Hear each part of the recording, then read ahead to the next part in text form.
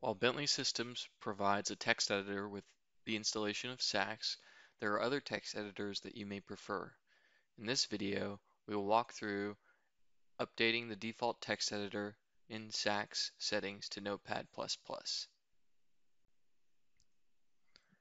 Navigate to the SACS settings in the SACS Executive ribbon bar. In the general settings, we can change the external editor to Notepad++. You're going to have to find the location in your directory. Usually it's going to be in Program Files, Notepad++.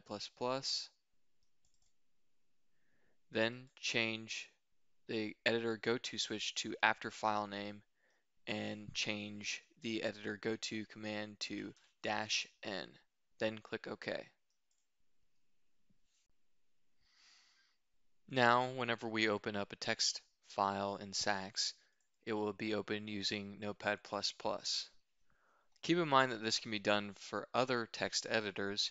You might need to read the documentation to find out where the go-to switch command should be located and what the command should be. For more information, be sure to check out the links below in the description and remember to like and subscribe to get more videos like this in the future. Thank you.